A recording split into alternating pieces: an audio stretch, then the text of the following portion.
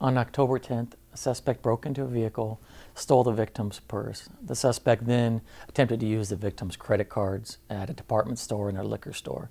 Fortunately, a witness at the liquor store uh, felt that uh, the purchase was suspicious and was able to take a very clear picture of the suspect's face. So we'd ask anybody that has any information or recognizes a suspect to please contact Crime Stoppers and you may remain anonymous.